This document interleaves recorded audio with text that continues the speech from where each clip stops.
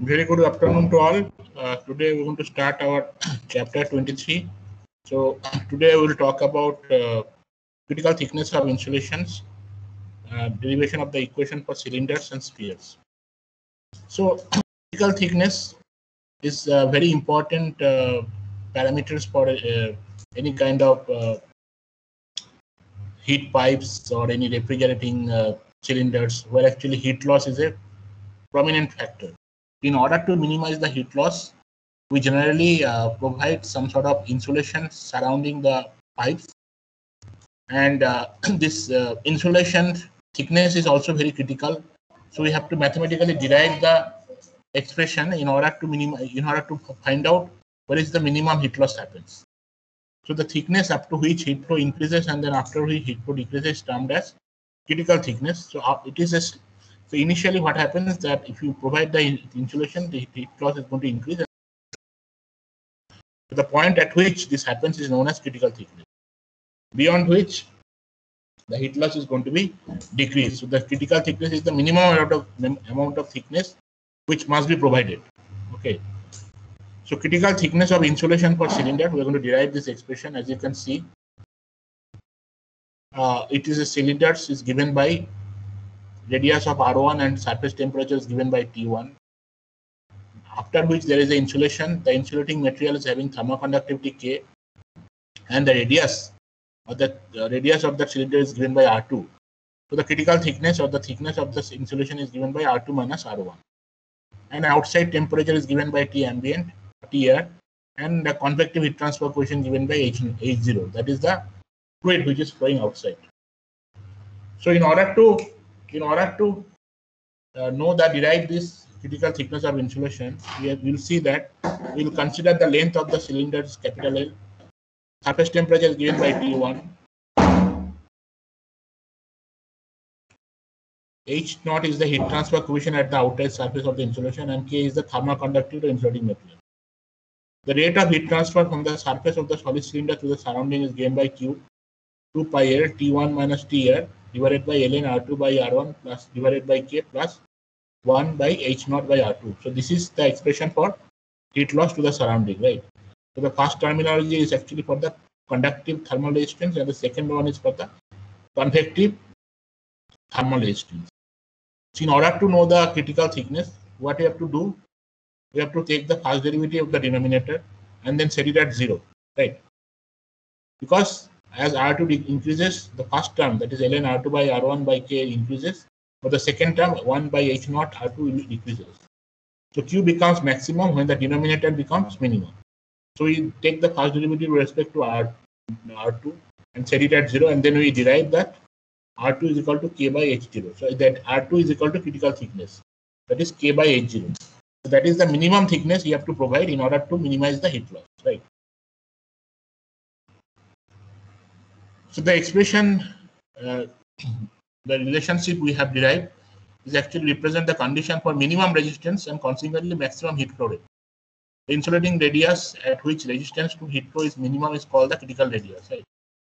Beyond critical radius, heat loss is going to be minimized. The critical radius dependent on the thermal quantity K and H0 and is independent of R1 that we have seen. It may also be noted that the second derivative of the denominator is evaluated if evaluated will come out to be positive. We should verify that the heat flow rate with the will be minimum, will be maximum when R2 is equal to R, RC. Now in the terminology ln R2 by R1 by K is conduct, conductive thermal resistance which increases with increasing R2 and 1 by H0 by R2 is equal to convective thermal resistance which decreases with increasing R2. At R2 is equal to RC that is critical thickness or critical radius the rate of increase of conductive resistance of insulation is equal to rate of decrease of convective thermal resistance, giving a minimum value for the sum of thermal resistance. There can be a two scenario. One scenario for cylinders body, the R1 should be less than RC, right? The scenario given here, R1 less than RC. The heat transfer increases by adding insulation till R2 is equal to RC. So as you can see, heat transfer keep on increasing until R RC become R2, right? If insulation thickness is further increased, the rate of heat loss will decrease. Rate of heat loss is decreasing. from the peak value until a certain amount of insulation denoted by R2 prime. This is the R2 prime, which is at B, B is added. The heat loss is still greater than the solid cylinder. Solid cylinder heat loss is given by this straight line. This happens when R1 is small and RC is large. R1 means the critical radius, sorry, radius of the pipe or rod or whatever, the material which are going to be insulated. Now RC is the thickness of the so it happens when R1 is small and RC is large. Examples are the thermal conductivity of the insulation. So actually, it means that thermal conductivity insulation is very high. That is poor therm, poor insulating material, right? And when H naught is low, the practical application would be insulating of electric cable, which would be a good insulator for current but poor for heat. For cylindrical bodies, when R1 greater than RC, as you can see, R1 greater than RC, the heat transfer decreases by adding insulation, decreases by adding insulation. They happen when R1 is large and RC is small. Here, actually, R1 is small, RC is large. This is more standard condition. A good insulating material used with low K and H0 is high. In steam and refrigeration pipe, heat insulation is the main objective. So for insulating to the properly effective in restricting heat generation, the outer radius must be greater than the equal to the critical radius. Okay, so R1 should be greater than RC or more. Let's look into the example for critical thickness of insulation of a sphere. As you can see, uh, it's a sphere of having a uh, radius of R1 and temperature is given by T1. The insulating material is given by this blue line between this dotted red line and blue line, which is given by thermal conductivity K, surface temperature is given by T air, and thermal uh, convective heat transfer coefficient given by H0. So the heat loss is given by this expression Q equal to T1 minus T air divided by R2 minus R1 divided by 4 pi K R1 R2 plus 1 by 4 pi R2 square H0. Applying the same procedure as that of cylinder, we have we take the first derivative, set it at 0, and then we get R2 equal to RC 2K by H. That is the standard expression for critical thickness of a sphere. Let's look at uh, so that so we first example calculate the critical radius of insulation for asbestos surrounding a pipe and exposed to room air at 300 Kelvin with heat convective heat transfer coefficient given 2.8 watt per meter square Kelvin. Calculate the heat loss from a 475 Kelvin 60 millimeter diameter pipe when covered with a critical radius of insulation and without insulation. So there are two scenarios, one with, with insulation, another without insulation. So first thing first, we have all the parameters given. We determine the critical radius, that is RC K by H naught, given determine 60.43 millimeter. So if you have insulation, the heat loss will be 2 pi T1 minus T2 divided by ln RC by R1 by K plus 1 by H naught RC. You can see that R2 is being replaced by RC because it is the critical radius and then you derive that 110.16 watt per meter is the heat loss with insulation. If you don't have without insulation, then simple convective heat loss happens. H naught 2 pi R1 T1 minus T2 is given 92.36 watt per meter. Next problem, a 10 millimeter cable is to be laid in atmosphere at 20 C with outside heat transfer coefficient 8.5 watt per meter square C.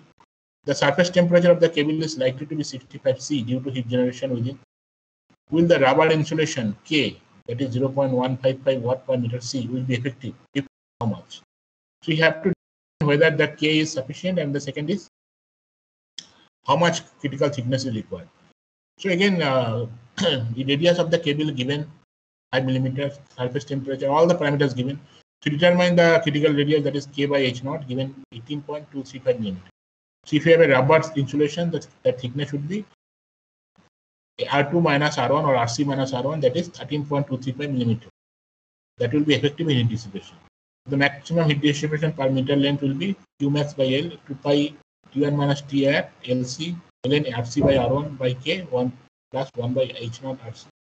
RC you have no, R1 no, K no. So it will be how much will be the maximum heat dissipation that is 19.1 watt per meter. Next problem, a small electric heating application uses wire of 2 millimeter diameter with 0.8 millimeter thick insulation. The heat transfer coefficient at the insulating surface is 35 watt per meter square C. Determine the critical thickness of insulation in this case and the percentage change in the heat transfer rate if the critical thickness is used. assuming the temperature difference between the surface of the wire and surrounding air remains unchanged. So all the parameters are given. First you determine R1, R2 and K. And then you, from this parameter you determine critical radius K by H naught that is so percentage change in heat transfer rate. The heat, heat flow through the insulating wire is given by 2 pi L T1 minus Tr ln R2 by R1K plus 1 by H naught R2. So that we are just considering that R2 that is 1.8 millimeter and you determine that it is the percentage heat loss. Now if you instead of R2 if you consider critical radius then you determine the heat loss. So percentage increase will be Q2 minus Q1 by Q1 and that is coming at 11.6%. Very straightforward, very simple. Just look at the expression and solve. Next problem, similar type of problem. I think uh, I think uh, you just go through these slides. It is very easy.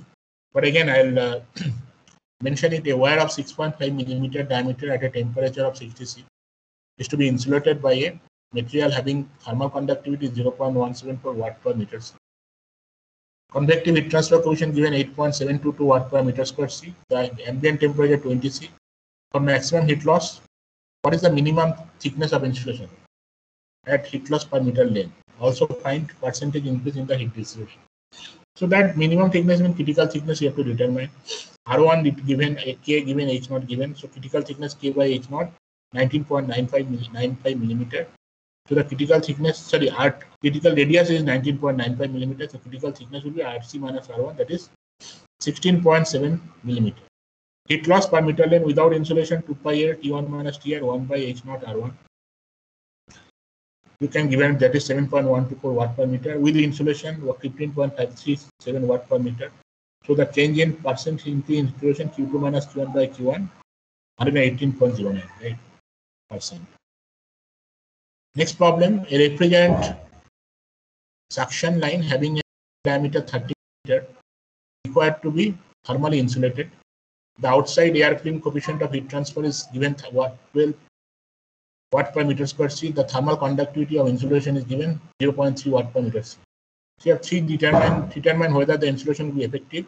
Second, estimate the maximum value of thermal conductivity of insulating material to reduce heat transfer. And third, determine the thickness of cork insulation reduce the heat transfer to 22% if the thermal conductivity of cork is 0.038 watt per meter. So first case, RO given H naught is given K, K uh, of the insulation given. So critical radius RC K by H naught that is 25 millimeter. Now RO is that is the initial uh, critical radius. Sorry, the initial the radius of the refrigerant suction pipe is 15 millimeter, which is less than RC. Therefore, heat transfer will increase. That is the case case one, right? If you remember, by adding this insulation, thus it will not be effective. For insulation to be effective, RO has to be greater than RC. So you put these inequalities, the values, and then you determine K insulation should be minimum. Minimum K thermal conductivity should be, sorry, maximum thermal conductivity should be 0.18 watt per meter C, right? That is 0.1 watt per meter C. That is number two. Number three, consider unit length of the pipe. For base pipe, there is the amount heat loss H naught A delta T, H naught A, A2 pi R0, A, area uh, 1, delta T is the temperature difference. For pipe with coil cork insulation, delta T divided by ln RC by R0 by 2 pi K C1 plus 2 pi R C1 H naught, right? Equal to 0.22 Q because it is given given 22% reduce, right? 0.22, that's why. So you put all the value and then solve for RC, that is the cork. That is 36 millimeter. So thickness of cork insulation will be RC minus R0, that is 21 millimeter. Next problem, uniform sheathing of plastic insulation is applied cable of 8 diameter. The convective film coefficient on the surface of bare cable as well as insulated cable was estimated as 12.5 watt per meter square C and the surface temperature of 45 C was observed when the cable was directly exposed to ambient air 20 C.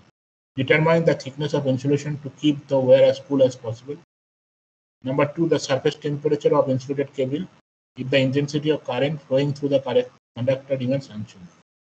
So as you can see from the figure, R1 is given 4 millimeter, K is given, H naught is given, thickness of insulation 14.4 millimeter, the thick, sorry, the radius of insulation 14.4 millimeter, thickness of insulation R2 minus R1, that is 10.4 millimeter. Surface temperature of insulated cable 10 T2 is given by, you have to know that heat loss, that is Q1 H, H naught A delta T, 7.85 watt per meter. Now, if in case of insulated sheath, the heat flow is given by Q 2 pi L T2 minus T20, 1 by H0 R2 ln R2 by R1 K. So that is coming 0.49 T2 minus T20. Q2 and Q1 should be equal, equalized and then it solve for T2, you get 35.86 degrees.